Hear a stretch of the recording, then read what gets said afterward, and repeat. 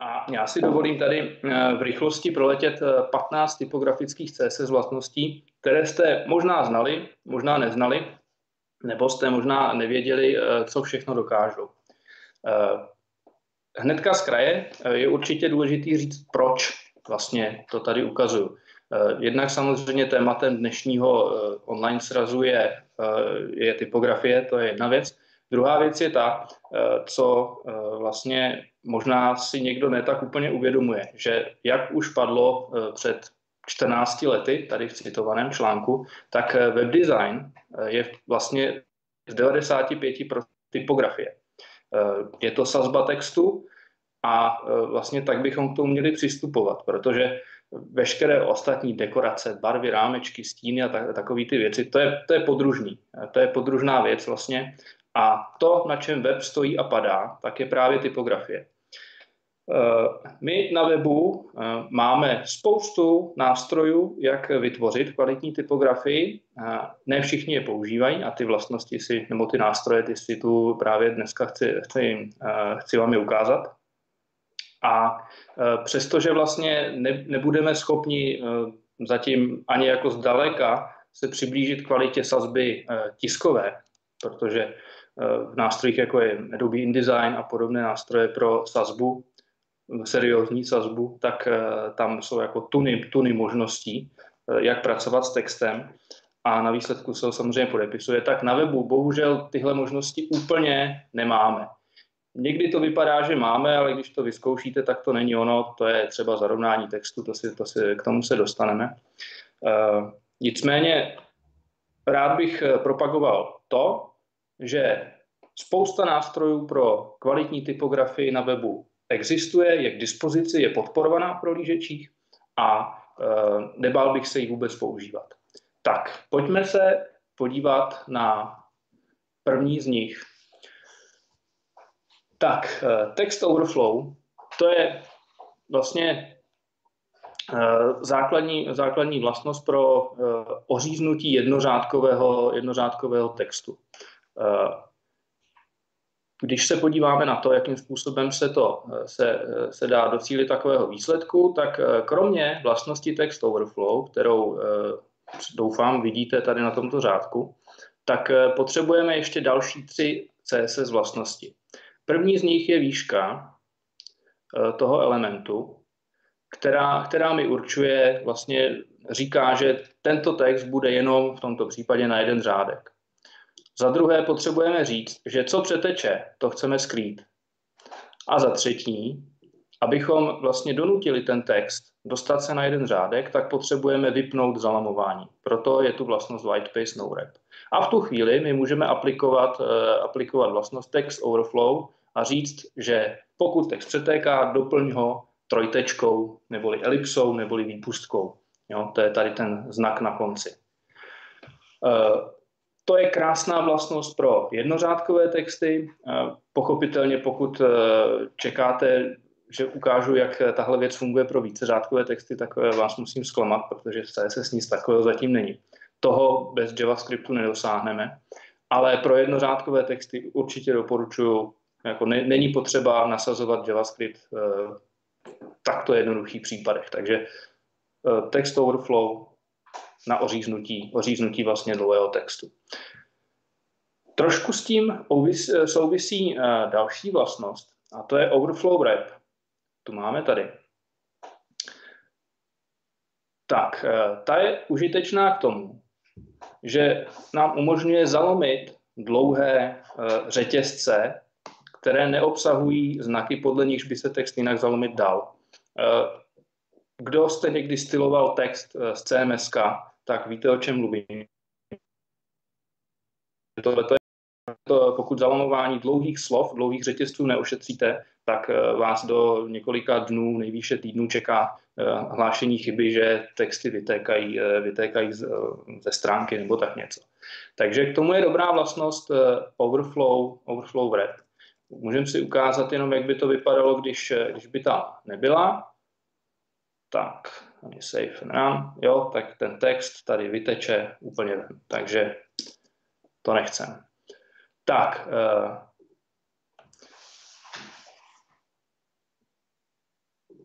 S přetékáním textu souvisí i vlastnost hyphens.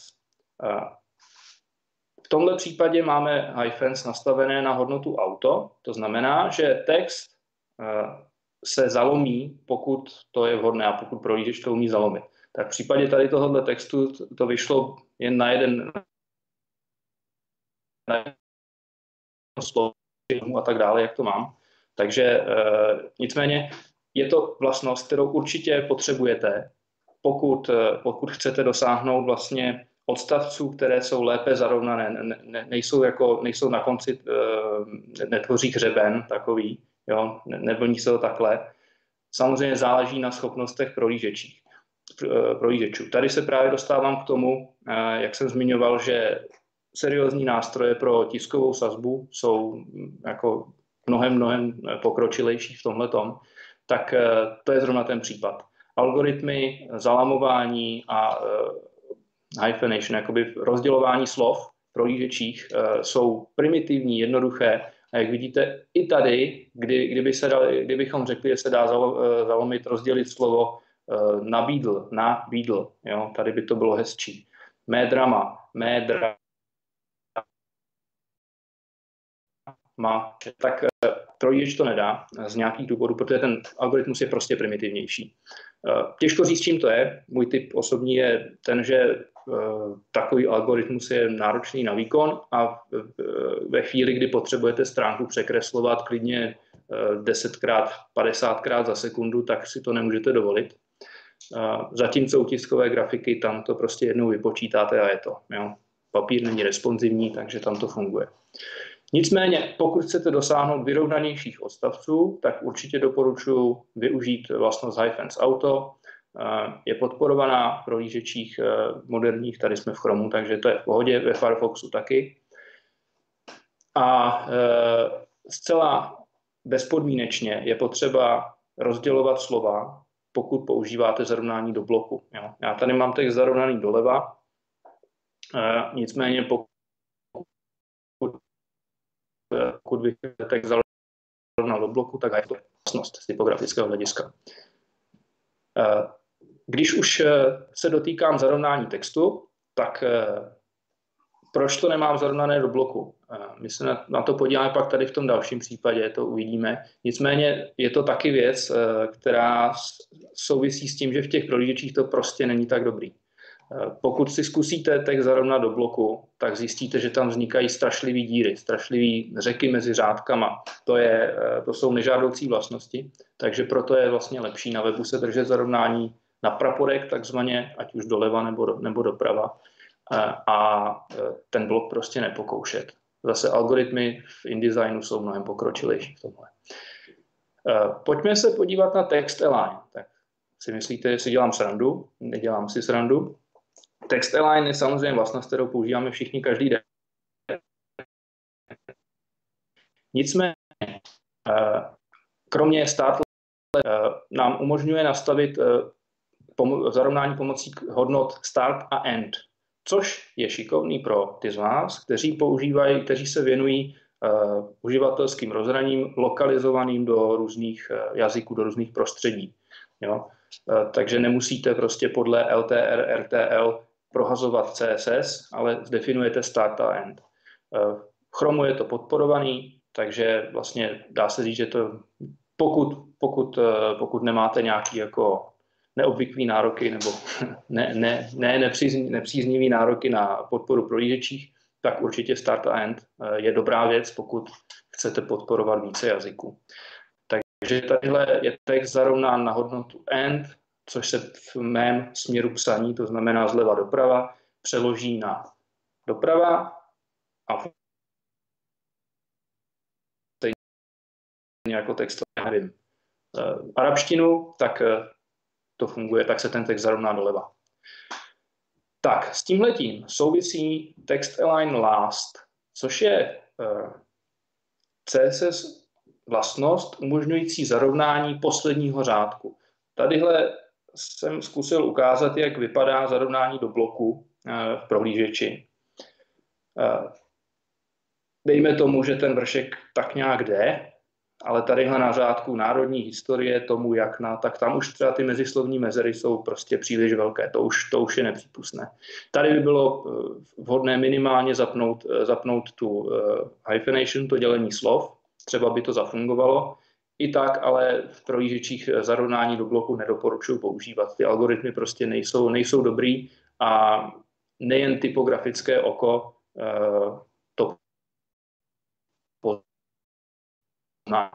to pozná. Ale vraťme se k tomu, o čem jsem mluvil.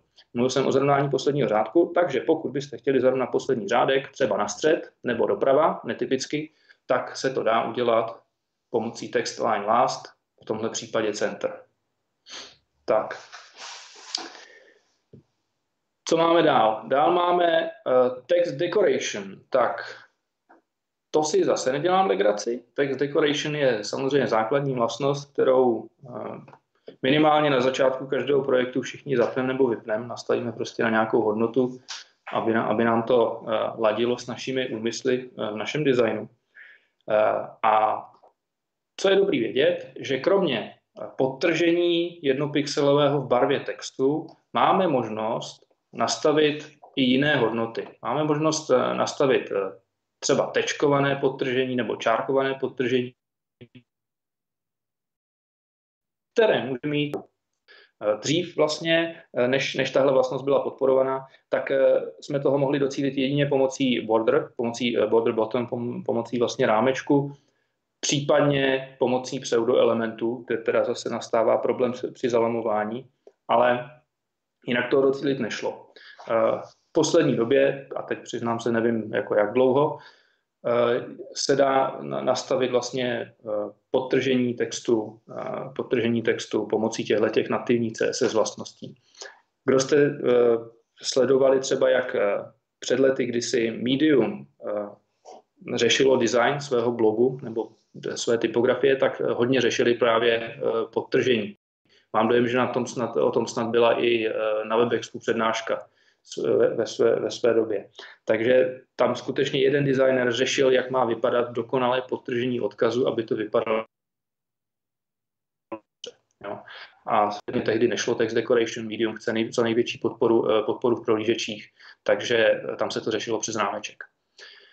Tak, Tady bychom ještě mohli říct, že ten, to podtržení je moc nalepené na náš text, což nevypadá pěkně. A tady to skoro okolností v tomhle zoomu to relativně jde.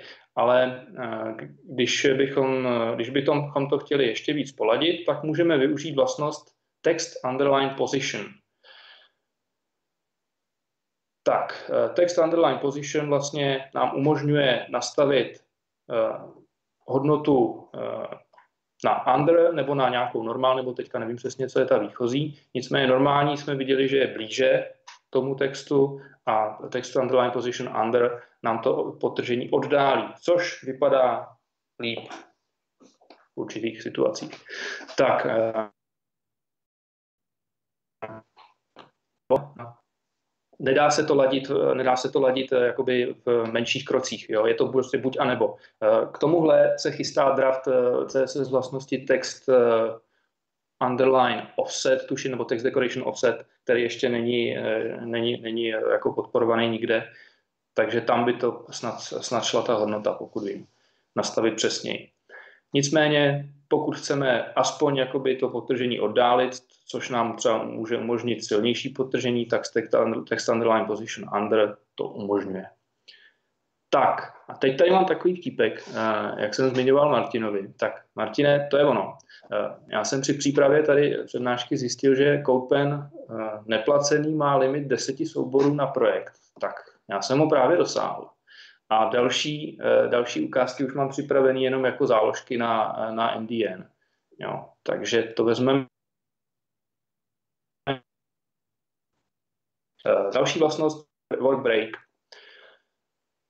Work break souvisí uh, s něčím, co už jsme si ukazovali. Ukazovali jsme si vlastně, jak docílit zalomování dlouhých řetězců pomocí overflow wrap. Uh, tak work break je vlastně podobná vlastnost, dá se říct, řeší, řeší podobnou věc a má vlastně hodnotu, nejužitečnější hodnotu break word, to znamená jako rozlom, rozlom slova, ne, ne zalamuj všechno, když, je to, když to jako není potřeba, ale zalom, když je to potřeba, která je vtipná v tom, že je deprecated, protože dělá úplně to samé, co overflow wrap.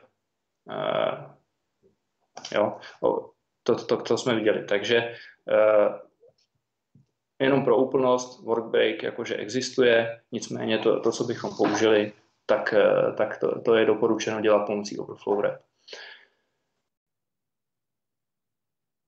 Tak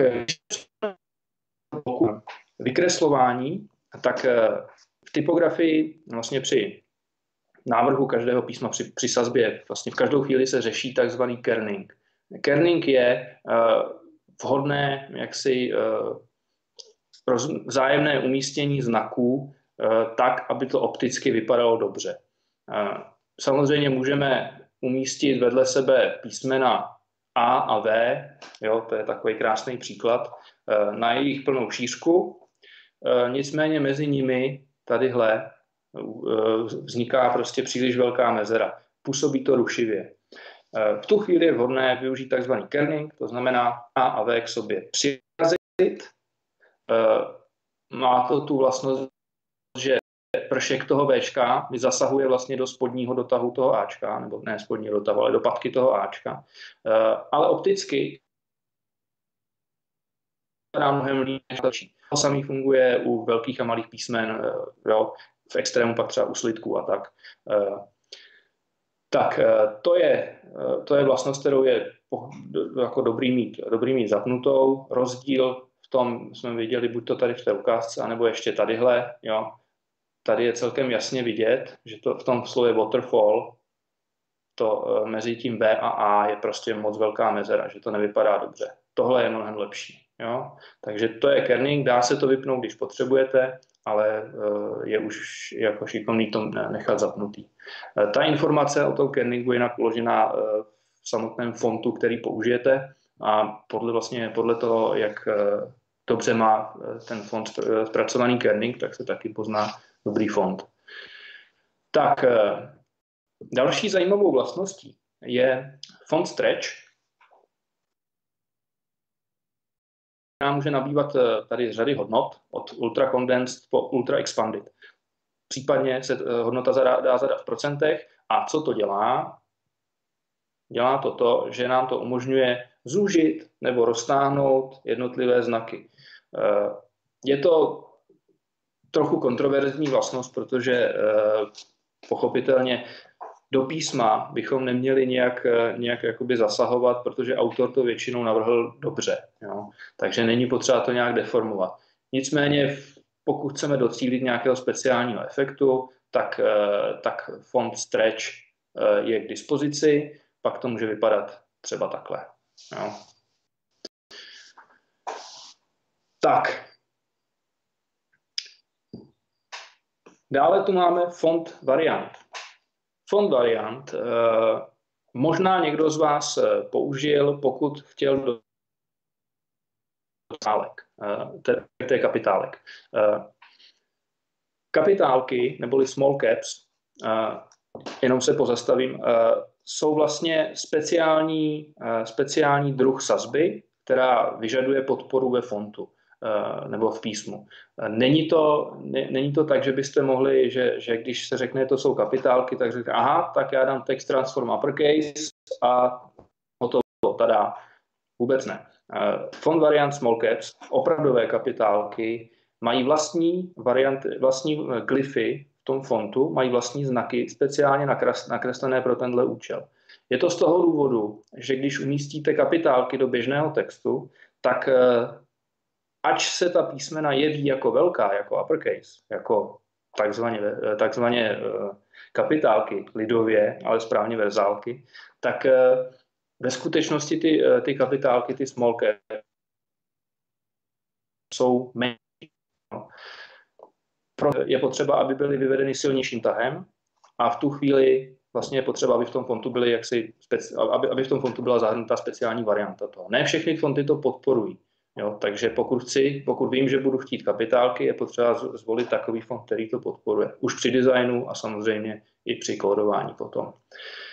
Tak, eh, kromě, kromě kapitálek, jaksi opravdových kapitálek, což je asi nejpoužívanější nebo nejčastější případ, když sáhneme po fond variant, ještě máme možnost si vybírat třeba z variant číslic neboli figur. Tady vpravo, když, když se budete koukat, jak to proklikávám, tak vlastně vidíte, že ta čísla se mění, mění se, mění se třeba jejich šířka, mění se jejich jakoby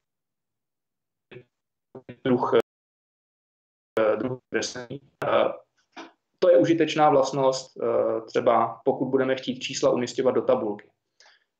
Proto existují tady tabular nums, tabular numbers, což, eh, což způsobí to, že vlastně všechny číslice budou mít stejnou šířku, takže když je máte v tabulce pod sebou, tak jsou hezky zarovnané a dají se dobře číst. Dají se vlastně porovnávat eh, ty hodnoty mezi sebou. Takže pokud chcete vysázet pěknou tabulku, tak k tomu budete potřebovat fond, který podporuje tabulární číslice, tabulární figury a eh, a vlastně potřebujete to takhle explicitně zapnout. Protože jinak byste ty čísla měli ve výchozím stavu, což je takhle, každé, každá číslice je jinak široká a není to, není to tak hezky zarovnané. Takže to je další věc, co se s tím dá dělat. Ještě jednu poznámku mám těm, těm small caps. Jo, tady vidíte, že to je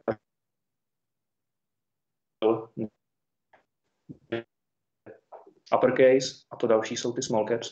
Tak eh, ještě jedna věc, když eh, používáte small caps, eh, doporučuji použít i vlastnost letter spacing, neboli, neboli vlastně mezery mezi, mezi písmeny, když to řeknu jednoduše, protože většinou je potřeba je trochu zvětšit, oddálit, aby ten text vlastně neslíval do sebe, aby to nepůsobilo opticky příliš, příliš tmavě.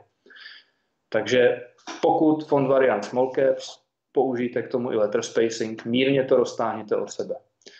A samozřejmě ty fonty, které, kde to chcete použít, to musí podporovat. Jo. Tak, s tímhletím souvisí i nastavení font feature settings, což umožňuje nastavit podobnou věc. Je to vlastně navržené pro open type písma. Vlastností tady tohohle, nebo rozdílem fond je to, že z fond variant můžeme bezpečně využít eh, small caps, možná nějaké další vlastnosti, nicméně ty další uh, už nejsou, nejsou v prohlížečích moc podporované. Jo? Tady je to takový rozpačitý. Zatímco font feature settings jsou krásně zelený. Jo? Takže pokud vaše písmo je kvalitní, pokud podporuje všechny tyhle ty funkcionality, jako jsou tabulární číslice, jako jsou slidky, ligatury, eh, opravdové kapitálky, tak eh, Font Feature Settings je váš přítel, abych tak řekl. Tak eh, dostáváme se k 13. CSS vlastnosti, kterou jste možná neznali. Tahle vlastnost je zajímavá tím, že se zdá naprosto neužitečná, a dokáže vyřešit chybu, na kterou jsem narazil párkrát. A to je to, že se vám na iPhoneu Safari někdy naprosto nesmyslně chová flexboxový layout. Jo? Prvky se vám začnou zmenšovat jinak, než čekáte, prostě úplně zbytečně a písmena v nich jsou menší. A říkáte si, co se to sakra děje, prostě tady jako velikost písma je stejná, nic jsem neměnil, nesál jsem na to, co se to tam děje tak eh, po prostě, teď záleží, jak dlouhý době debugování, zjistíte, že existuje vlastnost text size adjust, která uh, sice je podporovaná no, ve více prohlížečích, ne ve všech, ale zrovna v tom mobilním Safari, eh, v tom, v tom mobilním Safari tadyhle na iOSu, uh,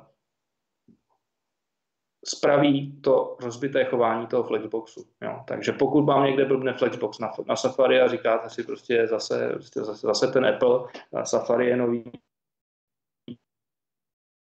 a tak. Jinak nevím v typografii, čemu bych to využil. To jenom, jenom takhle jako zajímavost. Tak, předposlední vlastností uh, se dostáváme k rendrování písma. Uh, rendrování písma je taky hodně zajímavá a hodně složitá věc. Eh, určitě jste to zkoušeli, v, každý, každý si s tím nějak pohrát, prostě po, třeba já, když jsem to zkoušel před pár lety, jakoby v, v různých prohlížečích, tak vlastně v každém prohlížeči tohle bylo potřeba použít jiné CSS vlastnosti a jiné hodnoty k tomu, abych dosáhl optimálního vykreslení textu. To bylo poměrně frustrující. Dneska už je to o něco lepší, i když taky neideální. Eh, z těch oficiálních vlastností, které k tomu jsou určeny, tak eh, existuje text rendering vlastnost a ta je zajímavá, eh, zajímavá vlastnost z toho hlediska hlavně, že pokud chceme z nějakého důvodu zrychlit vykreslování. Jo, máme na, na, na stránce spoustu textů, chceme okamžitě ukázat uživateli nějaký text, třeba v průběhu načítání stránky. Jo. E, zatímco se stránka načítá, vykreslíme to tak nějak na hrubo a jak, až je načtená, tak to vykreslíme třeba s, s, lepším, s lepším vyhlazením. Tak se dá využít e, hodnota Optimize Speed, e, jo, tahle ta. Pak se to dá přehodit na auto nebo Optimize Legibility. Geometric Precision, uh, ono tady není demo, pokud se, ne je tady, ale ten rozdíl není úplně vidět. No. Uh, Geometric Precision, uh, teďka nevím úplně, co přesně dělá, ale může to být zajímavá vlastnost uh, při vykreslování uh, icon fontu. Jo? To už je taky přežitá technika, to se dneska, dneska bude každý pokud má, pracujete na projektu, kde je font, tak se vám může hodit vlastnost text rendering. Tak a s vykreslováním souvisí ještě jedna CSS vlastnost, která má tu vlastnost, že je nestandardní, ale chcete ji používat. Patří k těm pár nestandardním vlastnostem, který chcete použít. A to je WebKit Font Smoothing. Konkrétně s hodnotou anti-alias. Je to nestandardní vlastnost, eh, eh, podporuje vlastně v, eh, podporují, jak je vidět z prefixu, WebKit, WebKitové prohlížeče. Nicméně typický budete chtít, budete chtít použít, protože ten text je potom vykreslený mnohem jaksi v tenčích linkách. Rozdíl, já teďka nevím, jestli na, na tomhle záznamu to bude vidět, ale vlastně rozdíl mezi vykreslením toho prvního stace je ani aplikované a mezi druhým, kde aplikované není, tak je skutečně jako vidět. I na tomhle odstavci, na to pak na celé stránce. Jo. Takže je to zase něco, co nejen uh, jak si znalcovo oko eh, pozná, uh, má to vliv na to, jak se ten text čte, hm, tudíž vliv třeba na to, jestli, jestli skutečně lidi budou s vaším webem třeba pak interagovat, jestli to bude bavit, nebo řeknou, ježiš, to se nedá číst, jdu pryč. Jo. Takže doporučuji tohleto používat, zapínat. Eh, výsledek je potom většinou, většinou lepší. Aspoň taková je moje zkušenost. Tak a tím se dostáváme vlastně na konec. Tohle bylo 15 CSS, CSS vlastností, které jste možná neznali, možná znali, eh, ale doufám, že jsem vám i u těch, co jste znali, ukázal aspoň, aspoň nějaké užitečné hodnoty, které jsou pro vás nové.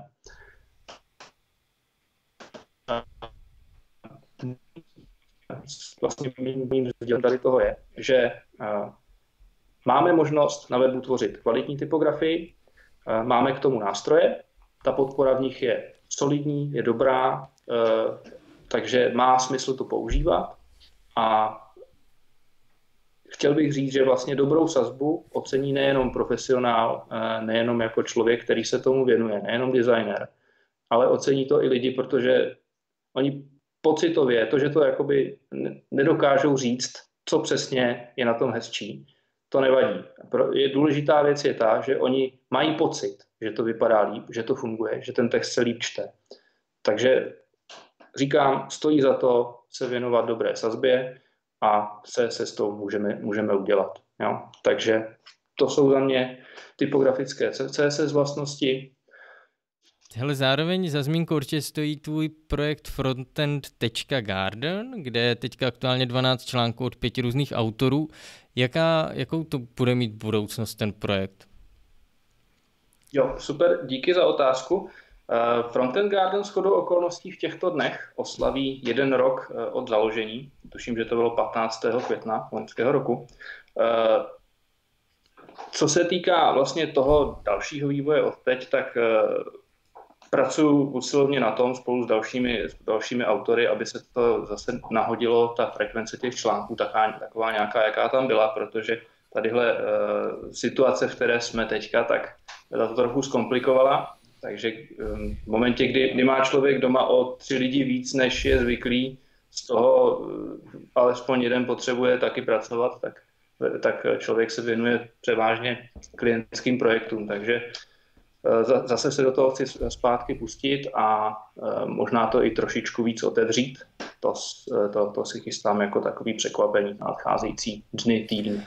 Mm, a předchozí přednáška byla o variable fontech, tak otázka na tebe, jestli se už někdy použil? Nepoužil jsem je. Na Frontend Garden o variable font právě od Honzy je článek. Ta technologie mě fascinuje, protože díky tomu jsme schopni ušetřit jako spoustu dat ve chvíli, kdy potřebujeme víc řezů. Kdy designer vlastně se rozhodne, že potřebuje víc řezů, není ochoten se uskrovnit, tak ty variable fonts mu to vlastně krásně nabídnou. A přiznám se, že poslední dobou jsem prošel kolem několika projektů, kde jsem zcela vážně zvažoval nasazení variable fonts.